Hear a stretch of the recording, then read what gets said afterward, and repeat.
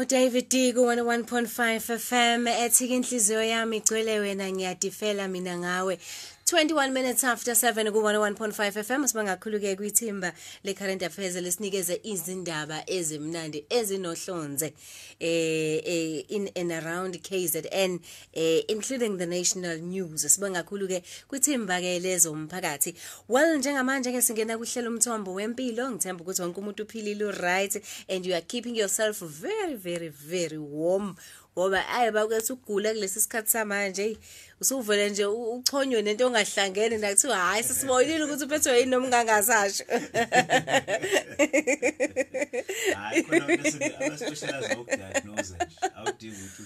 hayi hayi hayi hayi hayi hayi hayi no hayi hayi sesiyazi sesiyazi noma ngangabusasho so ke asinekekele imizimba yethu and keep ourselves warm eh kuye kwaba nomoya nje uzama izinto manga abanye ke bathimule kuze kube leyo nkathi mabetholele nomoya so ke if you are allergic to such make sure ukuthi nje uzigcina eh, uphephile Well-ke sisakhuluma ngokuzigcina uphephile namhlanje we have a very interesting topic engicabanga ukuthi ke including eyabo bonke abantu abasingili abakuma relationship eh abashadile aba engaged eh kanjalo kanjalo kuwona wonke nje umuntu le iyakuthinta ngisho ngacabanga ukuthi ayikuthinti ngoba wena usingile cha iyakuthinta nawe kuzokusiza ukuthi ulithole lolu lwazi well as usual every Tuesday we have eh, our psychosocial wellness consultant eh, ubaba uPD fanele kufanele ngibhale esandleni khona ngizokukhumbula njalo eh sino sino baba okay known as psychologist introduced ubaba eh u PD em but khona la ku 101.5 FM namhlanje sikhuluma ngendaba yokuthi when is the right time to, to disclose your status uyiqala nini ukuyikhuluma indaba ye status sakho ngoba ngiyazi ukuthi eh, mhlawumbe uthando mangabe lisalusha uyuthanda ukuthi umuntu azi okuhle kodwa ngawe angatholi ifile eh enento ethe ngcono ngcono nje kancane yabo eh nabantu nabantu abathi mhlawumbe mangabe ukuthi umuntu is asking around ngawe bese thola nje ngicela ngicela okuncane ufisa ngisho ukubashaya labo mm. bantu ukuthi umtsheleleni ke manje wena ukuthi ngaye ngaboshwe ususholeni ke wena ukuthi ukuthi kunenhliziyo encane phela uthando mangabe lisalusha ke abantu bathanda ukuveza side elihle but in the long run eh um i mask iyawa noma siyayikhipha angazi noma ngizose siyayikhipha noma iyawa yini bese kuvela the real you so if ukuthi une short temper ivele if kukuthi kanjani kanjani uyi control freak kuvele eh if kukuthi awubathanda abantu kuvele kanti mhlawumbe at the beginning you are all smiles nje usmile ngathi nje uyayithanda ingane usmile nje hayi wena ubuntu ubuntu ubuntu idlala singane ha 3 months down the line hey get out so yabona so ke okay.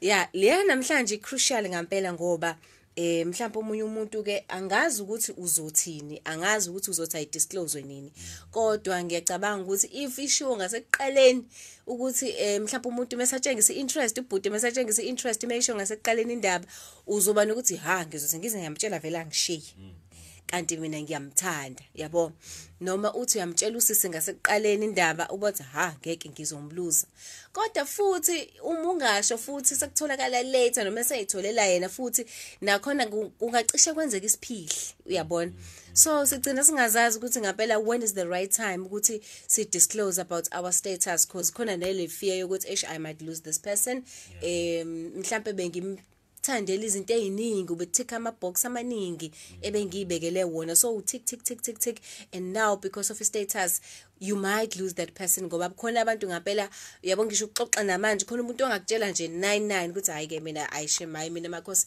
ngikaphansi ngiyabaleka meke nje umuntu wa hayi ngiyabaleka ngidlali kanjalo uyayizwa lonto so uthola ukuthi kunzima ke so ke ngenxa ke yobucayi balesi sihloko ngizozama ukuthi ngingakhulumi ngikudedele ukhulume eh njengomuntu odila nabantu eh nanokuqhamuka nanokumanage indlela zoku zokumumatha mhlambe new information zokudeala nokuthola i-information entsha mhlambe ngesithandwa sakho kanjalo kanjalo so ngizokudedela nje baba ukhulume kodwa uma kukhona la kunokuchasha khona sengizongena lapha hayi no it's fine vele ke namhlanje angiexpecte ukuthi ukhulume wasikhulume ngemali nazo so so i'm not surprised ukuthi uzobuthule eh, so yeah no that's fine balaleli siyabonga kakhulu sibingelele eh, emakhaya sibingelele abangani bethu kufacebook abasimula kufacebook facebook mm. sibingelele aba-overseas sibingelele i-south africa yonke na yonke indawo la sifinyelela khona yeah. um eh, khona nabanye bakolesoto omunye kade ngibuza nje mina mm. noma selesoto sabo mina ngizoyithola kanjani mm. hayi buka lapho kufacebook so we are really going international and kuhle lokho um eh, siyakuncoma kakhulu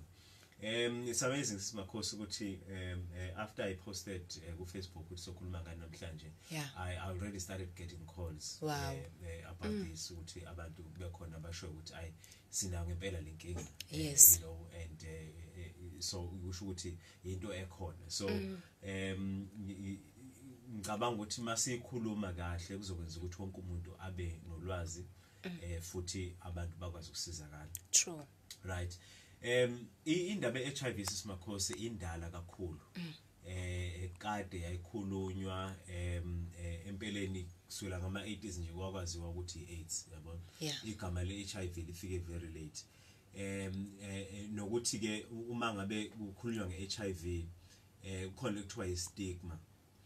Um like it or not sisimakhosi if kungathiwa eh uthola ukuthi umngane wakho HIV positive there's only one way oyicabangayo ukuthi uthole ngayo angazi ukuthi kwenzeka kanjani sikhohlwe ukuthi ziningi ezinye iy'ndlela ongayithola nga-h i v um so ziningi iy'ndlela ongayithola nga-h i v um abanye bazi ukuthi kuphela uthola ngocansi kuphela um so which is not true so njengoba ngisho lezi nto ngifuna ukukhombisa ukuthi ulwazi lwethu uma kufika kwi-h i v is very limited um such that every time uma ngifundisa nge-h i v ey'ndaweni ey'ningi la ngiye ngikhulume khona ngithola ukuthi ngifela information abantu abangazi ukuthi hayibo bekhona into ekanjena kanti nge-HIV mm. so HIV bakwethu asingakhathali ukukhuluma ngayo vele there's a lot of information esingenayo abantu abaningi abangenayo there's continuous research eyenziwayo about HIV yes. so there's a lot we don't know so ke enye izinto le kufanele ukuthi sikwazi ukuthi sikhulume freely ngaphandle kokuhlonisa ngaphandle kokusaba mm. as couples into fanele ixoxe le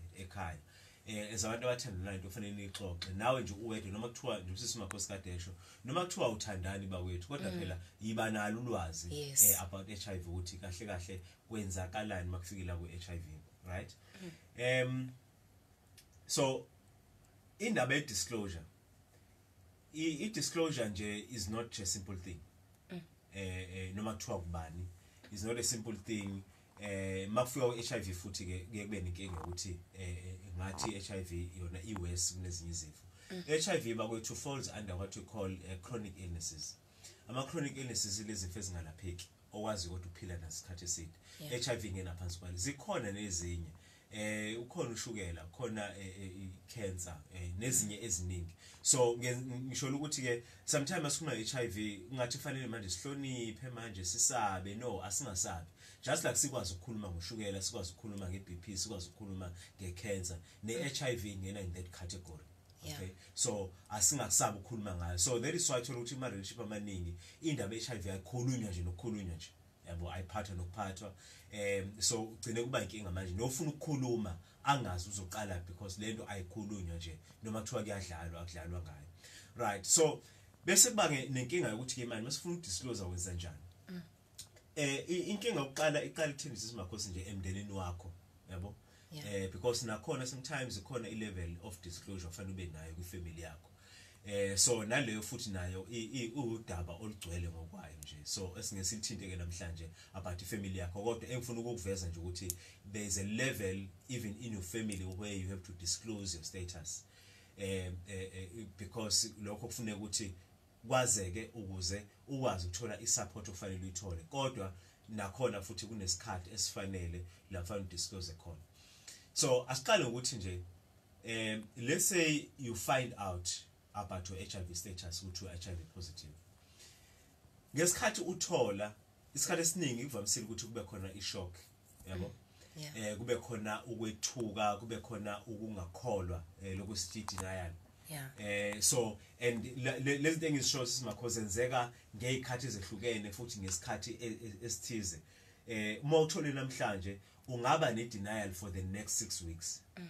ungaba ku denial for the next 6 months yabo ukwi denial because utshelwe into obungayilindele and futhi ongakholwa ngempela ngempela ukuthi unayo so ngamanye amazwi nawe lento iqala kuwena kuqala ukuthi wena have you accepted because i acceptance is state sokugcina you cannot disclose istatus sakho if ungaka-accepthi wena kuqala mm. so you need to accept before you can disclose alright so so ichaza-ke iy'ngozi zokudisclose ukuthi yizimbi so that uzokwazi nawe ungaqhamusa udisclose kanti bengingafaneli yeah. so ngesikhathi usanda kuthola uba neshok okuqala ukuthi how come yabo uzama ukucabanga yeah. ukuthi hawukambe kungenzeka ukuthi usibanibani ngenza ukuthi sibantu balongithelela yabo ngesikhathi ucabangela izinto lezo izinto zonke lezo ezingenasidinga ukuthi uzicabange kodwa ziyazenzekalela automatically um okwesibili njengoba ngishiloko bese uba kwi-denial bese uthi hayi ngeke mhlawumbe bangitheste wrong yabo um mm. eh, mhlawumbe ake ngenze ini-test mhlawumbe ake kuthathwa amagazi ake liye e, elebhi igazi mhlawumbe just so that nje ngibe sure because i don't believe ukuthi le test le iqinisile i-denial leyo um mm. eh, bese kuba khona naba three kube khona i-anger i-enga ilokuthukuthela lokuthi yabo usuthukuthelele wena uthukuthelele mhlawumbe nomuntu ocabanga ukuthi mm. ngenze ukuthi uyena okuthelele yabo so kube naleyo enga leyo kube khona futhi i-enga nje i-enga remember ukuthi i-enga is an emotion so nokusho ukuthi usungena manje kwe-emotional imbalance whereby uthole ukuthi emotionally manje so affected so angry um kuthi khala mhlawumbe awuka-accepti angithi uyabona ukuthi ama-emotions akho aseyaqala manje ayanyakaza which shows ukuthi le nto eyenzekile isakuthusile and then youll have anger okunye um uh, you'll have what you call um i-guilt noma i-blame you know whereby you feel guilty Uh, for being HIV positive because you're blaming yourself Eh, ukuthi you did something that you're not supposed to do Uh, because you think you believe ukuthi wathola mhlambe ngocansi so already you are thinking about abantu okungenzeka ukuthi bakuthelele nomuntu okungenzeka ukuthi wakuthelele mm. so uyaqala-ke manje lapho uba uba uba ne-guilt and uba ne-anger futhi towards yourself as well yeah. um, and then you start blaming whereby you blame yourself ukuthi eyi ukube nje angizange ngijole nosibanibani you blame you can even blame god ukuthi mm. but why unkulunkulu angangivikelanga why unkulunkulu evumeleni ukuthi ngibe ne-h i v mm. and then you start blaming other people you start blaming um izinto ey'ningi ezahlukahlukene um ublame nomuntu mhlawumbe othandana njengamanje okholwa ukuthi uyena okuthelele yabo mm. and then le nto yokublama-ke nayo futhi it's a long process ngokwayo so angithi uyabona ukuthi before you even accept nawe usudlule ey'ntweni eziningi yabo yeah so zonke lama situations odlula kuona abantu abaningi abakwazi lokho abantu abangaphandle abakwazi lokho wena ozwa lezi zinto ngaphakathi kwena so kugcine le manje umuntu esebake manje eseba emotional uthole ukuthi mephuma mhlawumbe kuyotest uphuma lapho asafuna ukukhuluma omunye that is why abanye baze babe nane-feeling yokuzibulala kusukela mm. lapho ekutheni mhlambe useyaziblame akakwazi ukuzixolela manje yabo and eh, into kayicabangayo ngasikhathi umuntu ucabanga ukuthi ngizomtshela kanjani lo muntu engithandana naye hmm. ngizosho kanjani ekhaya ngizosho kanjani kulo muntu engishade naye angithi yabo so wonke la ma-thots lawo angaze ashayiswe imoto umuntu engigwaqeni ecabanga because ingqondo ungaze ukuthi imile manje because uyacabanga ukuthi konje ngizokwenzenjani yabo so that is why even kwi-counselling ayisebenzi kakhulu i-counselling ozoyinikeza umuntu eqeda kuthola ukuthi upositive akufanele ukhulume kakhulu because ngaleso sikhathi akakuzwa yabo so uzama ukuthi ukhulume as little as possible kodwa futhi at the same time umnikeze ithemba at the same time futhi umnikeze indlela yokuthi umkhombise ukuthi ukhona and uzokwazi ukuthi umsupport so ke as a result umuntu uphuma uphuma lapho imiphuma kwi test uphuma already eh, eh, eh ingqondo yakhe isiphazamisekile okay um so ngaleso sikhathi ke mhlawumbe futhi usuyathola ukuthi hey mhlambe lo muntu engithandana naye uyena ongithelela yabo so uyacabanga ukuthi umtshele kodwa futhi uyacabanga ukuthi but what if imini omthelele angithiyabo so zonke lezi zinto lezo so-ke ingakho kubalulekile ukuthi-ke si-understand ukuthi kwenzakalani ma ngabe kade utest bese kuba khona-ke le stage okuthiwa i-acceptance acceptance iyifika ekugcineni-ke because yila khona usukwazi ukumukela khona ukuthi yazi um manje angimukele ukuthi i am h i v positive mm. yabo mm because eh udinaya kwami ngeuze ngisize and it's a reality sengitestile mhlawumbe ngaza testa kathathu itest iphuma nje injalo yabo so ke eh angivele ngimukele nje ukuthi am HIV positive and then think ukuthi ngizokwenza njani from now on yabo so acceptance le mawu accepta uya uyavumelana lento itholile noma amaresa swatholile bese uyacabanga ukuthi okay now from now on ke sekuzokwenzakala that is where indaba ye disclosure comes in yeah so yikho ngithi kubalaleli ungaphuthumi ukudisclose ngeke utheste namhlanje udisclose namhlanje its mhm. very dangerous yabo yeah. because nawe awukafiki la u-accepta khona akujwayelekile ah, ukuthi umntu anga-accepta on the same day mm. yabo um uh, so i-acceptance iyithatha isikhathi mm. right um okunye kufanele siku-understandeke ukuthi ma sekufike because kufanele uqala ube ube nalo ulwazi about h i v so that, that means-ke after usufike mhlawumbe kwi-level ye-acceptance kwesinye isikhathi during that time ungakafika i-acceptance ungabe mhlawumbe futhi uzinikeza ulwazi ngokuthi nasi sife ngithole sisegazini lami now what to do how to understand it siyini sisho ukuthini kusho ukuthini kumina because this is one of the things ekunikeza ithemba nekusiza ukuthi ukwazi uku-accepta after uthola manje i-education e uthi okay sengiqedile ukuziblame sengiqedile ukucasuka ngaqeda ukuba shocked then let me get information mm. then you go back to the clinic or you go back to your health practitioner uhlale naye phansi usuthi mfethu awungifundiseke manje nge-HIV right yeah. then mawusufundisekile noma usufundisiwe yilapho ke manje usukwazi khona ukuaccepta because manje usunethemba lokuthi uzokwazi ukuphila yeah right eh eSouth Africa sisimakhosi asinama stats amahle kakhulu ke akhombisa ukuthi eh, eh abantu sebephila isikhathi eside manje ne HIV eh so ke asinaso isikhathi to go into stats kodwa ngifuna ukukhombisa ukuthi eh kufanele ukwazi ufika la uthi khona eh in any case baningi abantu abaphila ne HIV eh so ungakwazi ukuphila isikhathi eside uphila ne HIV mm. okubalulekile kakhulu ke simakhosi okufanele ukuthi abantu bakwazi futhi bakwenze ukuthi bakwethu into ebalulekile is to know your status mm. yabo mm. yeah, eh so that is why sigqugquzela abantu ukuthi kufanele ba teste kufanele baye eh, ema clinic kufanele baye la kutestwa khona umuntu akwazi ukuthi a teste bese ezokwazi status sakhe uma ungasazi status sakho ave kunzima ngeke ubone noma sekuyiwena othelele omunye umuntu noma uyena othelele wena because mm. awusazi status sakho mm. so at least True. you know at least testa noma kabili ngonyaka you mm. know at least once in six months wazi ukuthi uyatesta once in six months um mm. uh, uyatesta just once you know um uh, lokho kuyakusiza-ke ukuthi ukwazi usheshe wazi i-status akho ukuthi sithini um eh, kuye kuthiwa sithi makhosi-ke masifundisa nge-h i v sesithi-ke um ukutesta kwakho depends on your lifestyle mm. uma i-lifestyle oyiphilayo ubona ukuthi ikubeka at risk yabona-ke yeah. nabo sesithi-ke testa every three months ngoba uyayazi into uphila ukuthi njani yes. so every three months ifanele utest kodwa mm. ma uphila i-life style owazi ukuthi ayikubeki at risk but it's important for you to know your status mm. then ungatesta ke mhlawumbe once in 12 months or two uh, or twice in, in, in 12 months mm. so lokho kuyakusiza ukuthi at least ube nalulwazi ma usheshe futhi wasithola i-status sakho then uyakwazi usheshe uthole usizo ukwazi futhi ukuthi eh, eh, ubuyele esimeni esi-right sempilo mm.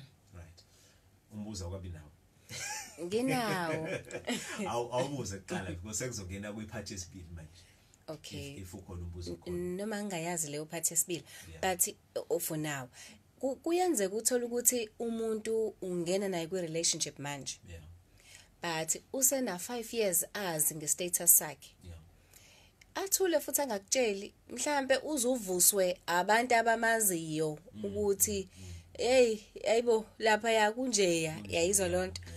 so now ey'ntweni ey'kanjalo kwenziwa njani because ngiyacabanga ukuthi lento le ye-trust iyaqala iyakrekheka ukuthi hawu usibani bana ngathula kanjani nento enje yayizo leyo nto because i think mhlampe abanye abantu they prefer to know the truth up front yeah. before i-relationship iziya anywhere mm, you know mm, mm. ingaze ifike lapha yani ekutheni you know nazane kangcono nijwayelane eh umuntu azi izinto ezithandayo akise kubo introduce to ama siblings etc etc so e-, eyami question ilapho ukuthi uma uthola ukuthi ke for instance nje mhlawumbe ake ngithi ke omunye kade vele sazi status sakhe ukuthi sinjani but angene kwi relationship angamtshela umuntu umuntu ngoba abantu abathulike athi umuntu hayi bo hey hayi yabo yeah yeah no uqinisile uqinisile eh simakhosi lento ke manje isibuya kulento kuthiwa responsibility yeah um ngiyacabanga ukuthi babuxolo kwayithinta indaba yokuthi um indaba ye-HIV yes ukuthelela umuntu ngegciwane usuzazi ukuthi unalo ulale naye without protection exactly it's attempted murder yeah uyabona ke so ubaxulu wayithinta kahle ke le ndaba so mm. naye ngeke ngakhuluma naye namhlanje ukuthi mm. eh, angikhumbuze ukuthi wayithini so ngisho ukuthi ufanele wazi nje ukuthi kunezinto enjalo kodwa ke lana ke masikhuluma ngeresponsibility ukuthi be responsible yeah ukuba responsible kusho ukuthi sengiyazi nge-status sami yeah. and ngiphila naso so ngendlela engiphila ngayo ngizophila ngendlela yokuthi ngingadluliseli kwabanye abantu that is being responsible mm.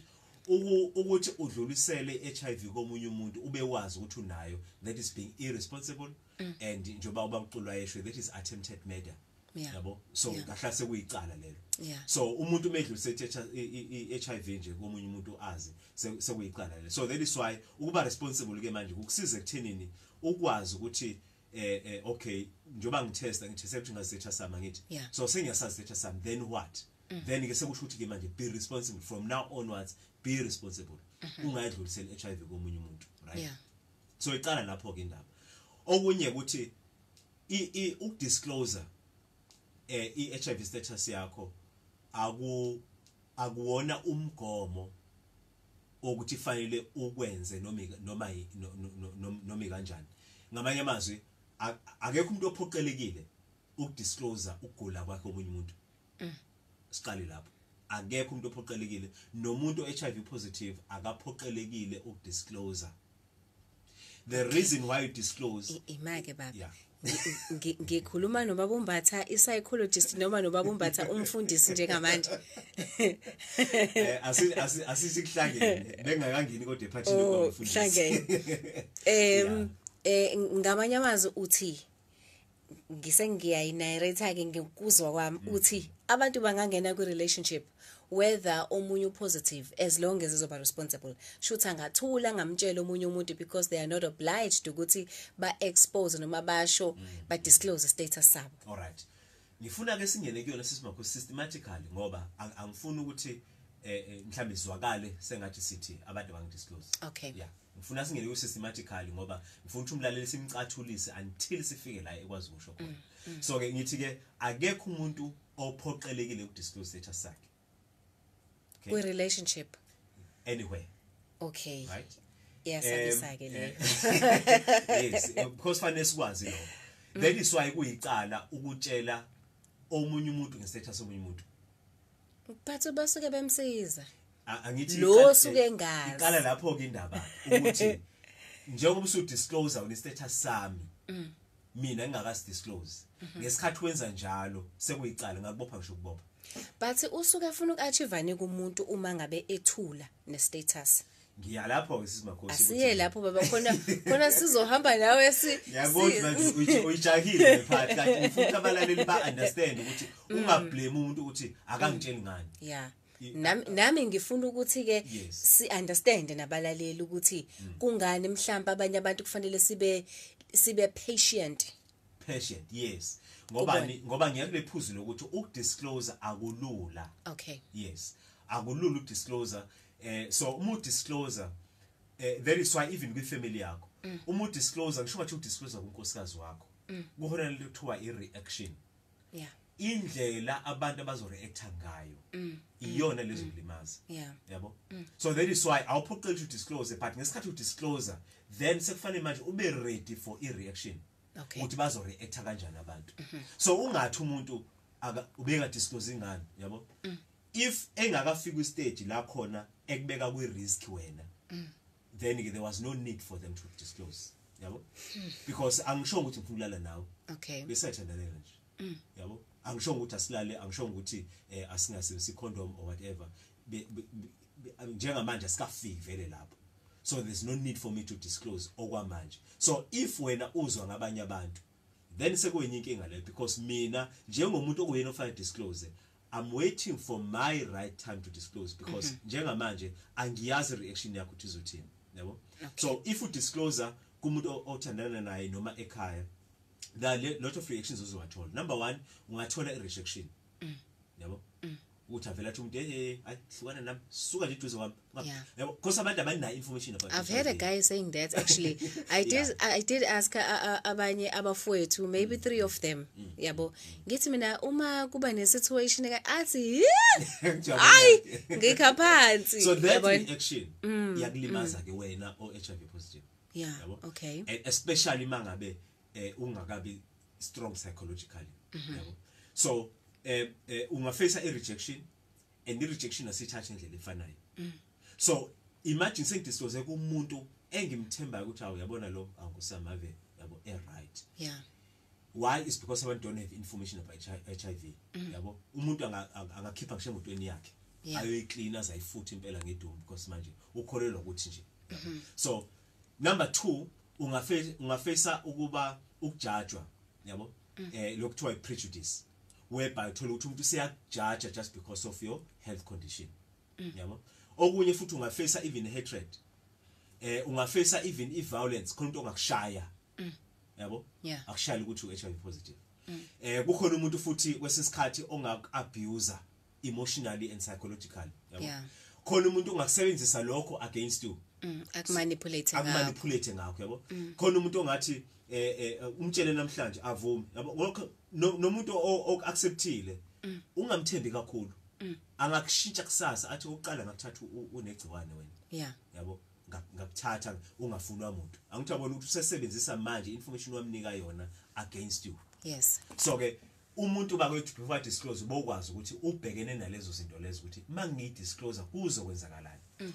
so that is why sithi-ke akekho umuntu ophoqelile ukudisclose but ke uphoqelekile ukudisclose uma usubeka omunye umuntu engcupheni yokuthatha HIV emake baba before we get there yes emasontweni nisibekela u6 months wokushada ukuthi umeke kwaqhamuka usibanibani wathi ufuna ukushada nosibanibani naku 6 months la umnqamula joqo within the six months kufanele nibe senenze yonke into nacela nalobola kwambeswa kwadadadadadadada mhlawumbe mm-hmm. ngenyanga ye-6 seniyashada kuwona lo 6 months futhi abanye abefundisi baphoqa ukuthi mm. kufanele nibe senihambile nayo test nibuye nemphumela mm, mm, usithola kanjani isikhathi sokuprocessa all of that within 6 months because u6 months usuke uthi i need to know as as much information I need to know about, about you.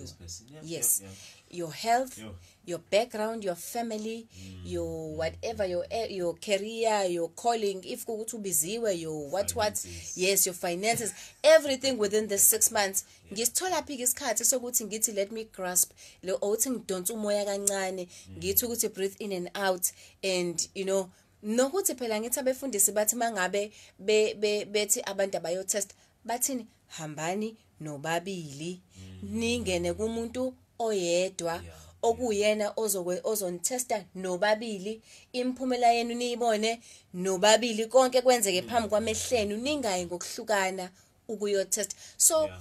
when when when are we doing that le leyokhuluma ngayo manje Le ukuthi umuntu usuke sadinga isikhathi sokuthi ayicabanga iprocess into ukuthi eh, as long as engayibeka impilo yakhe ingcubeni when is that within the 6 months esisuke sinawo ke emabandleni okay oqhathi simakhosi nginenkinga ngendaba yokuqalela abantu isikhathi mm.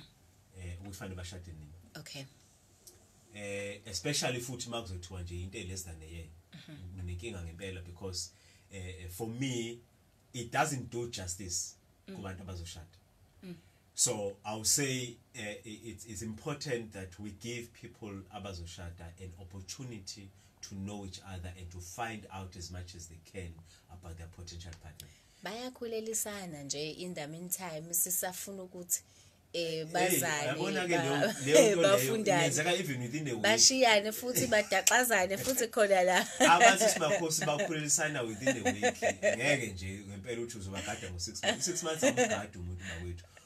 okholwayo nje ugada ujesu kuqala mhm. ya ngeke umgade ngemthetho so angisho ukuthi ayingabikho imithetho emabandleni but ngisho ukuthi ayibe reasonable ikwazi ukunikeza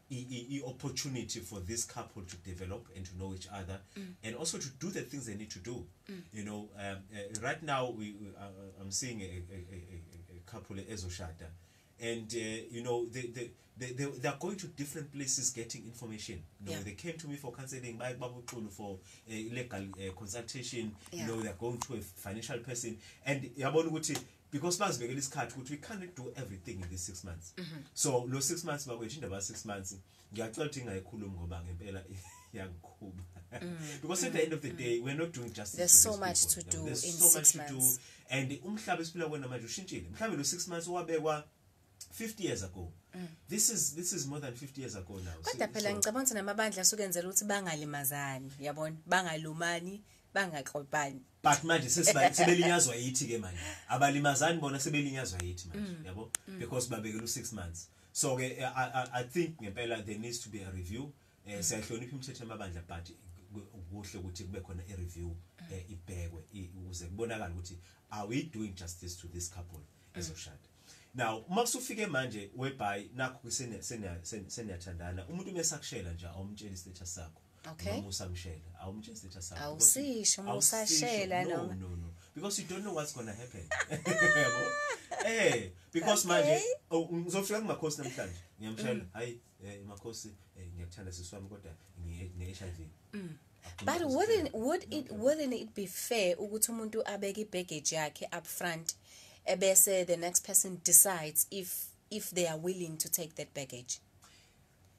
it's it's not advisable mrs makosi remember iconcern yethu um uh, also umuntu la ovulnerable ngempela mm. ilo o-h i positive okay yeah wena ozotshelwa awukho vulnerable there's nothing that is putting you at risk so lo okuyena ofanele akhiphe information uyena ovulnerable ngempela because akazi ukuthi bangitshela manje kungakabikho any commitment mm. uh, ekhona what are you gonna do next yabo yeah, abantu bayakwazi uzavela suke umuntu ahambe efafaze indaba um, yakho mhlampe asingasho ukuthi because there is no commitment mhlampe asithi because there is no intimacy akithi phela i-commitment iqala kuthini nivumela kuthi niyathandana sekuyi-commitment leyo e-intimacy eh, iyeza e-time stage yabona but le yokuthi siyavumelana manje ukuthi siyajola sekuyi-commitment leyo mm, yabo so manje-ke if if ngizokutshela then uvele ungi-rejecte yabo ngiye komunye ngokugcina masengitshela abantu abawu-10 ngesetsha sami and wonke no-10 akekho umuntu ebesine-commitment naye uyazi there's, there's a lady e, eyake yenza into ekanjalo mm. she was positive yeah. and every time uma kunomuntu omu-approacha for umshado mm. that's the first thing she would say yeah. ebese incengo ivele ikhe phansi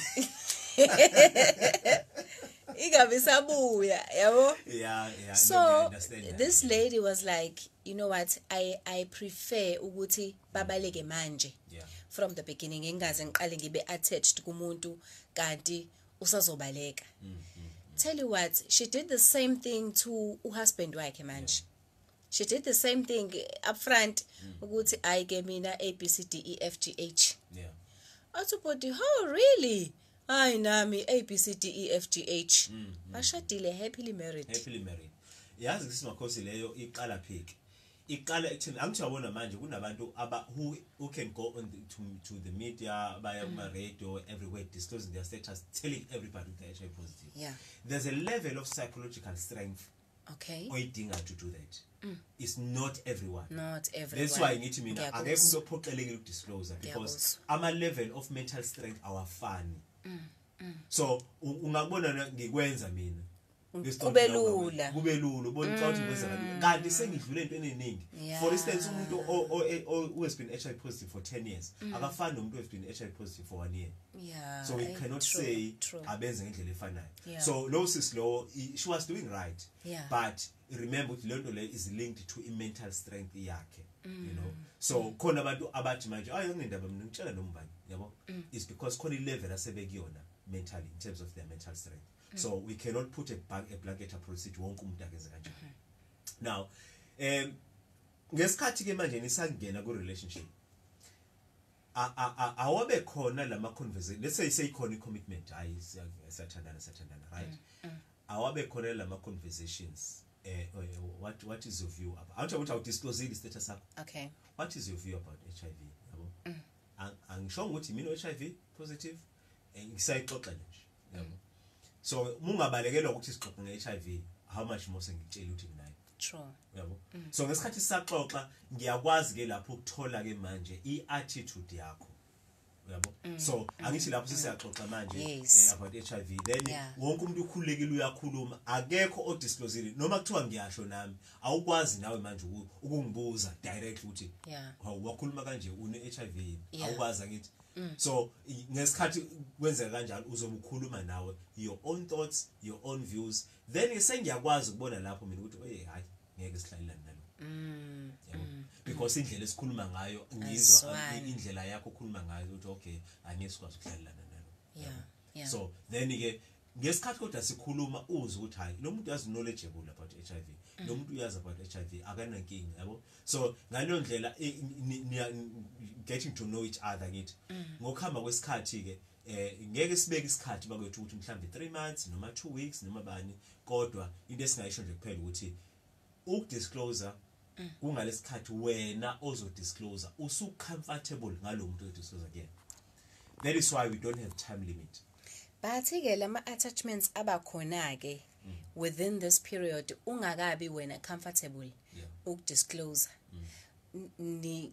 ngala kwakheka ama attachments komunye yes. yabo ukuthi oh wow you know we love the same thing oh wow yabo mm. abazali bethu bakhula ngandawonye oh wow you know we went to the same school oh wow sithanda izinto mm. ezifanayo you know sithanda ukuba adventurous so yabo so bawu2 and Yo, those yeah. those little attachments yes. and and that's that's why i was asking that person that question eqaleni ukuthi when do we really disclose is it mm. at the beginning usayibeka indaba yakho ngoba unfortunately ab abantu besifazane bayashesha ukuba yeah. attached bayashesha ukukhetha ama-feelings-ke ngolimi lamanje yabo so-ke nangoku umuntu wesifazane usakhetha wakhetha ama-feelings wakhetha waze wadecide ukuthi no man ngiyangena la mm. la ngiyangena la youknowsisimakhosi leyo i-tricky mm. i-tricky in a sense that um ukuhlukana kwabantu kwenzeka nominini anyway mm. yabo um eh, bahlukana abantu sebeshadile for ten years for twenty years bahlukana abantu sebethandane for five years you know eh, bahlukana abantu bethandele for six months so ngempela ngempela uma sekufika ehlukaneni kwabantu mm. that is something cannot really predetermine ukuthi izokwenzeka noma ngekuyenzeke um mm. eh, okunye-ke angithi sithi ba-comfortable ngokuthi usuyakwazi ukuthi umtshele umuntu othandana naye mm. bakwethu angeke ukuthi ungalinda unyaka wonke so but at the same time smacause we cannot asikwazi ukubeka i-time limit kodwa akube early kwi-relationship kodwa futhi kungabi too late asikwasi sithanda ninyaka wonke kuyima kutshela after a year mm, ukuthi mm. mm. positive and we've been hiv positive for five years yeah. that is unfair yabo mm. so yikho-ke ngithi yibani nawo lama conversations ale mhlambe ke ngesinye isikhathi-ke ungasho futhi eyi asiyilungise nalesi yep. you don't disclose your h i v status senisembhedeni selungisela ukuba nocansi you, you don't do that ngoba manje uh, uh, then what is your purpose what is your purpose hey hey i'm sorry I, no let's not go there actually you're actually positive no you can't do that mm. yabo le nto ikhulumeni kahle nihleli niphuze ijuice yeah. yabo nise-restaurant noma nje lanihlangana khona mm.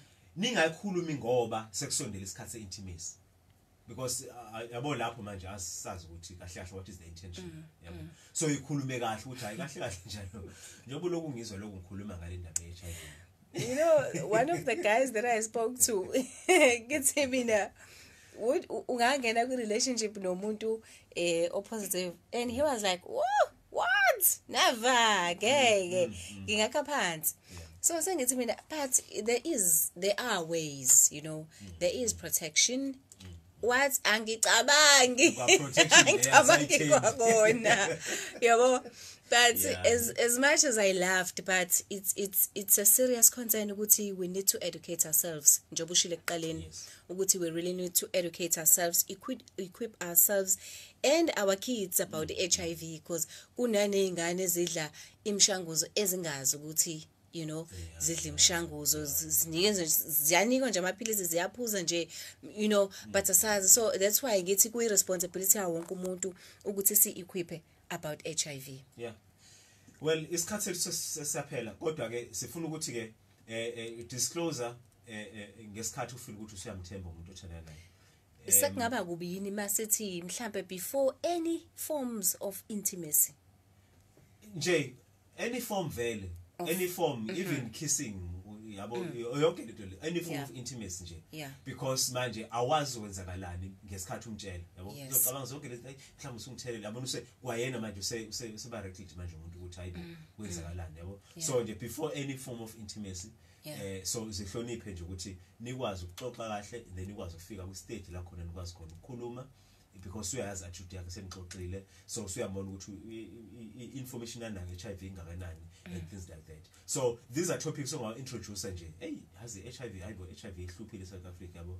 kodwa mm. nisebeyakwazi ukuphila and then niyaxoxa laphouyamuza ukuthi uthini olimi lakhe kunjani eh, ingqondo yona ukuze uma ubone ukuthi hayi akuvumi then ukwazi ukuhlukana naye without disclosingwithout eh. disclosingand mm, then eh, nonke yigoyo separate ways now um kubantu-ke sisimakhosi abashadile okay angazi uma sigxedile kahle kungapha ngoba nje asikabakhava abashadile sobuye siqhubeke kodwa awungene kulabo abashadile kulabo abashadile eh e, e, labo ke nkosi yami ke ay as soon as possible mm.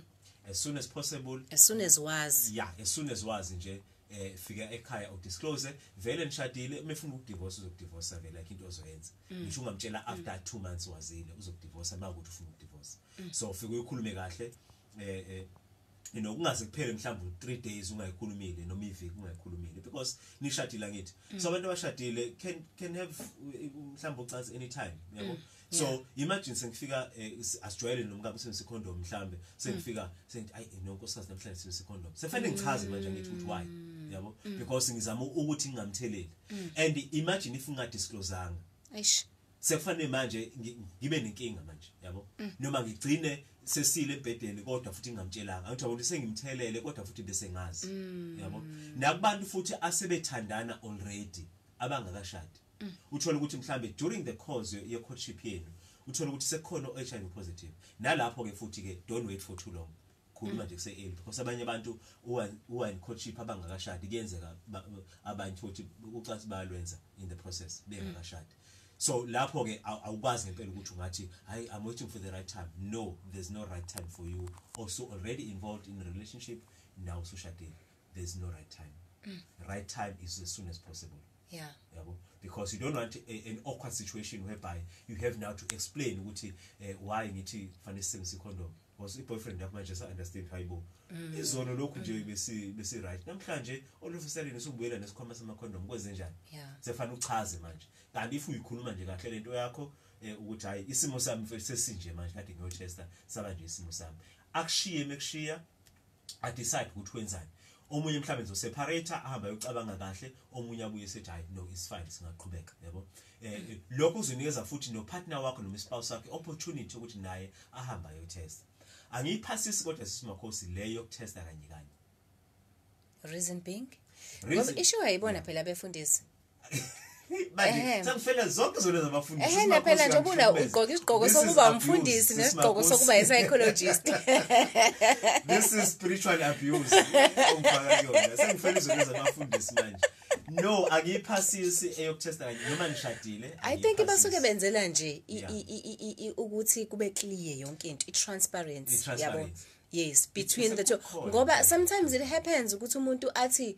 no man i'm HIV negative but uhayibo kuphela u3 weeks umuntu ukhwehlela ukhwehlelile mm, yabona mm, mm. izinto e-, esike sizwe kuthiwa zama symptoms lo kungakuhle ukudiagnose umuntu but kube khona izinto mhlawumbe umunye abe nezindlala uqale bathi hayibo eh iyayibona into leyo mhlambe ngiyacabanga ukuthi nabo onyamonhle laba basuke benzela ukuthi kube ne-transparency mm. kube khona i-trust between the two of you ukuthi you guys have tested together cause ungahamba uyothenga incwadi ukuthi eh dokotela ngicela ungenzela incwadi mm. you know my life is at stake la i need to come back nama results are negative futhi ke manje seku manje ke sekushiwe kakhulu ke yabona ke manje kukhona abantu aba responsible kuma date nje bafike nama HIV test kit athengwe chemist kuthiwa ke eh ayi ngaphandle kunga before before sidli sidlo eh idina mangabe ukuthi ukhishelwe idina ayisiqale sitheste la kancane la emotweni sihlale la emotweni sitheste mm. you know so right. yeah eh simakhosi angiphasisi leyo mhm. indaba yokugula kwakho noma yesifo sakho eh, iphathu kwakho nodokotela wakho okay yeah um even even for married couples because remember you need time to process things yes mm. you need time to process things uma sipressurelize abantu abahambe othesta kanye kanye mm. ama-reaction abo awezi ukufana yabo eh so eh, eh, lo muntu oyotesta kufanele angene ateste yedwa azame ukuyiprocessa lento ngaleso sikhathi eceda kutesta mm. uma ephuma lapho akwazi ukuyiprocessa lento before ayodisclose because manje masisitesta kanye kanye manje and then ukuthola ukuthi wayesha u-H yipositive phambi komunye umuntu is not an easy thing yabo because you don't know ukuthi i-reaction izoba njani and leyo reaction leyo mhlambe into ebingalungiseka if the tiwa nawe udisclosela ngendlela yakho it's even worse kubantu abangaka abangakashadi mm. into esingayenza ukuthi siyababuza ku premarital counseling have you gone for HIV test asho umunye ukuthi yebo umunye asho ukuthi cha mm. okay go and go and test yeah ngekhathi zenu then nibuye nama results but sesoba munye anyway so we are a couple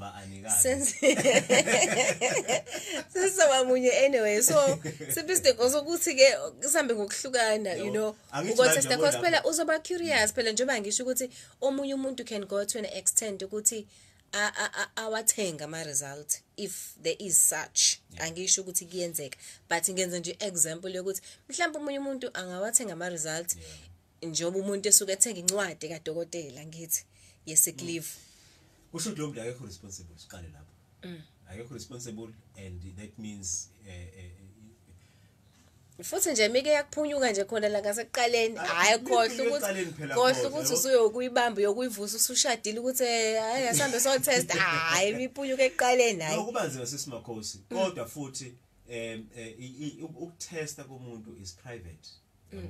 Eh, mm. if that is ethical uh, is private in terms of the ethics uh, in terms of the integrity health mm-hmm. private and confidential okay yeah, well, because phela nalo okutestayo mm. une-obligation yokuthi akakwazi ukudisclose istatus sakho to a-third person so ngesikhathi senibabili nimfake enkingeni lo nitestayo because manje umthetho awumvumeli ukuthi atshele omunye umuntu ama-result sakho ma sengithesta manje sefane ngitshele ama-result sakho kodwa automatically sengitshela nomunye umuntu wesithathu yabo hayi so that means ke manje sengiphule umthetho wayimina ke manje kusho ukuthi kona khona la iphambene khona ke kodwa ke khona nje la kunomantathu khona khona lesimakhosi into into ngoba ngoba nje mina nje where i'm coming from i know ukuthi em amanye amabandla athi abefundisi bakhona bathi hambani nobabili niyo tester kanye kanye nibonane imiphumela yenu nobabili then seningadecide-ke ukuthi uma senibuya for your next session ye-counseling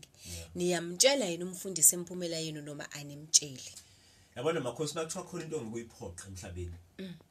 ngeke umphoqe umuntu ukuthi abe honest mm.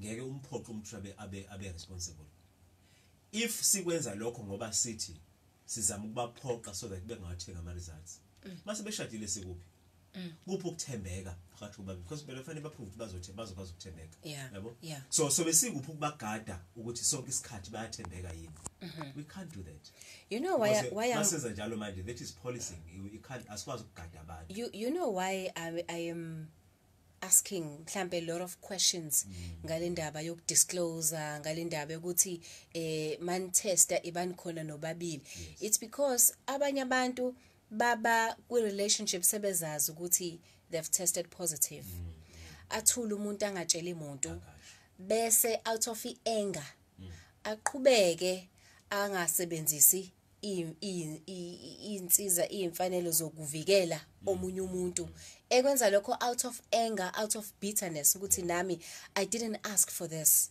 so nabo abathole yayizwa lonto nabo aba you know naba bayizwe lento engizwa khona abanye abantu who are angry who are bitter that's why i'm asking so ungibona ngishangala ngibuye ngishangalana nje njengoba ngize ngithi in the meantime ke usalinde lo munye ukuthi kumfikele ukuthi abe comfortable to disclose mm.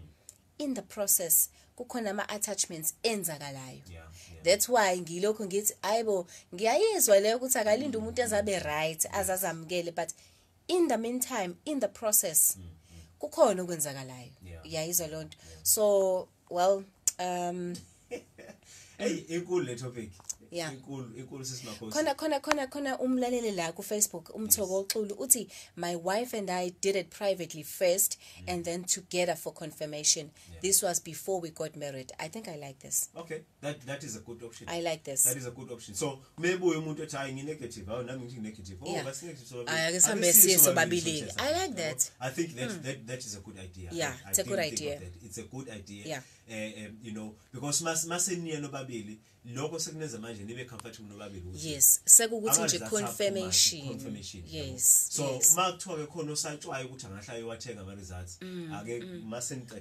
ke la because hey baba abantu babitha la ngaphandle babitha they are uh, so angry kubi kubi they are angry yabona nje badosa ukuthi nawe uthwala izono zabefundisi nje kunabantu la ngaphandle abathwala izono zabantu ababengekho bexova imoya boniwa kodwa bathola amachaphazelo alokho iyayizwa lento leyo so that's why i'm asking ngilokhe ngiyiphusha lento ukuthi ayibo in the meantime phela sohlala silinde umuntu kanti uvela umuntu uyazazi ukuthi i-status isithini if engabi comfortable but in the meantime kuyaqhubeka oqhubekayo lapha nendawo impilo iyaqhubeka you know so it's yeah into nje sizayo lapho simakhosi yabo lento yokuba responsible mm.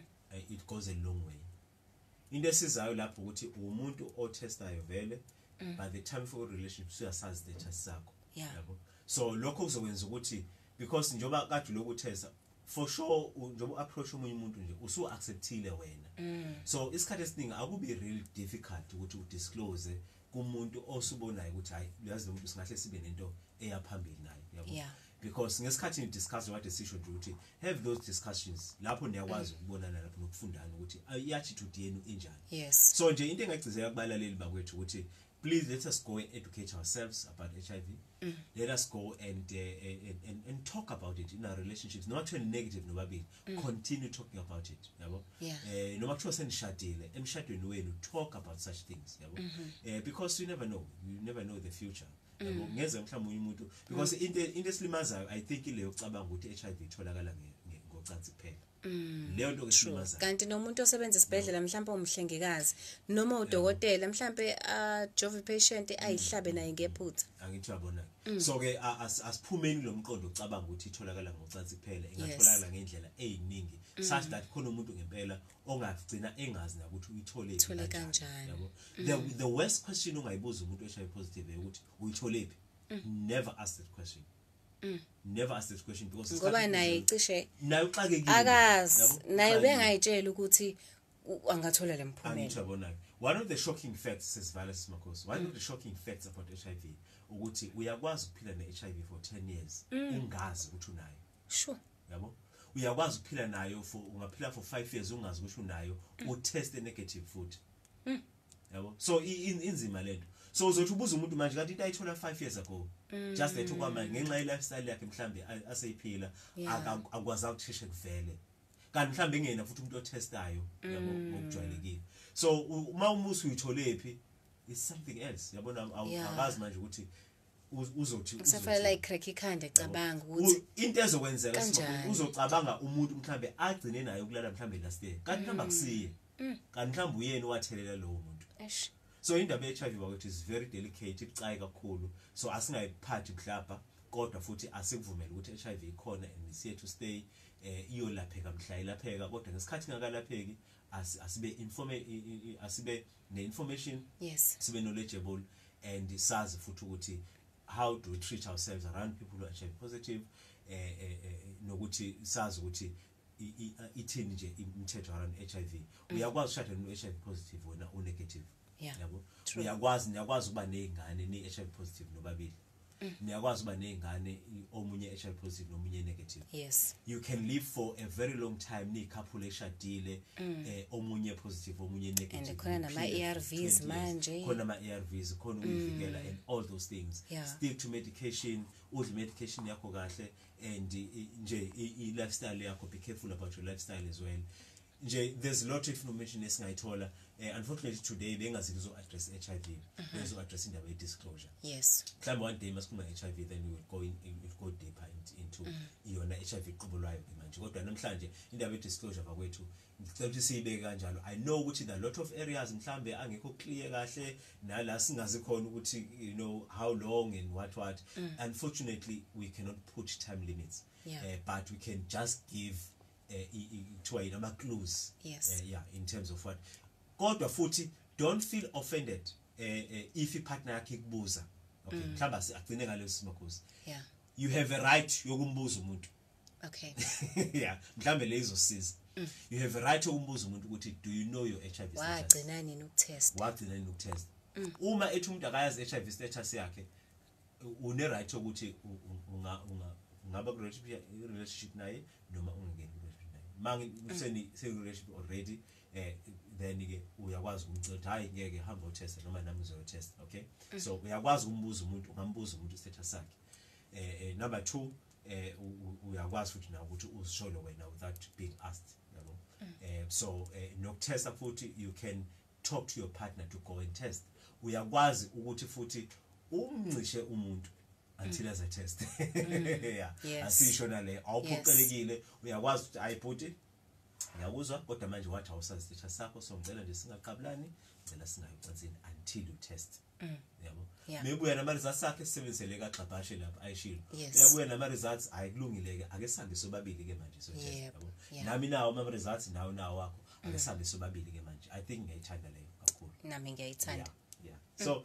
mhlawumbe sibeke lapho eh, indaba ye-HIV is very long eh, uh-huh. ngesiqede namhlanje but mhlawumbe lokho kuzobanikeza abalaleli at least a picture eh, ukuthi kwenzakalani Sabanga kakhulu baba eh ngiyacabanga ukuthi ngelinye ilanga so sithola isikhathi sokukhuluma eh nabantu aba ababhebhethekisa igciwane mm. ngenhloso mm. yokuthi mm -hmm. because I'm suffering. I also want other people to suffer. Mm. I want them to feel the pain that I'm feeling.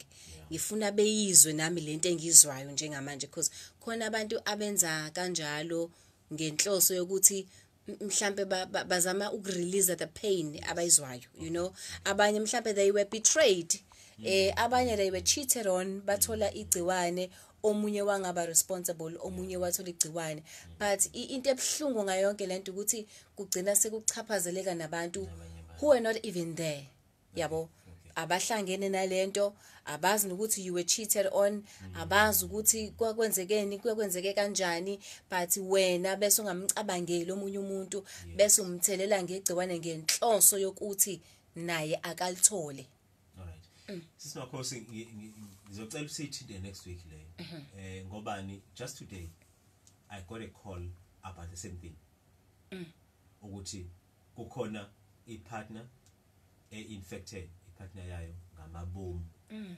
mm. and mm. mm. usaqhubeka uyakwenza lokho nakwabanye yabo so i-delicate mm. ngicela yeah. siyithinde next week yes. um, please. Uh, so um, i'm seeing this person mm. o, o, o, o, oriphothile mm. eh, eh because manje utheleliwe naye mm. so manje eh, uxakekile ukuthi enze njani so um, ngenzeka mhlambe ngibone ngibone next week for counseling session mm. kodwa futhi manje lo okuyena othelela abanye eh ukwenza ngamabomu yabo so manje kufanele manje kutholakale ukuthi umuntu onjalo kusizakala kanjani yabo so yeah so asithi nje next week i think izosiza kakhulu mhlambe nabalaleli bakwazi ukuthi bakwazi ukusizakala hayi izosiza kakhulu baba siyabonga kakhulu ngeinformation osinikeze yona namhlanje ukuthi let's not put pressure kubantu let's them let the, let's the, let's let them take their time eh ba accept bese ke base be comfortable bese beyakhuluma kusho ukuthi in the meantime no touching no ntonton noma what what noma wara wara la nabo babe responsible phela bangathathe iside yesigcizelele naleyo nabo ababe responsible bangathatha mm. isikhathi eside to disclose especially yes. if usukungene kwi-relationship nomuntu ubona ukuthi um eh, ufuna izinto eserious very true very true Aye. baba inombolo utholakala kuphi 061 061 641 641 09 60 061 641 641 09 60 ngicela bakuthi nithumele umkhafazo noma ivoice message noma i-voice note kawhatsapp noma uthumele imessage kawhatsapp noma i-s m s singayifoneli le number so that kodwa sizokwazi ukuthi sibuyele kwena within 24 hours siyabonga kakhulu siyabonga yo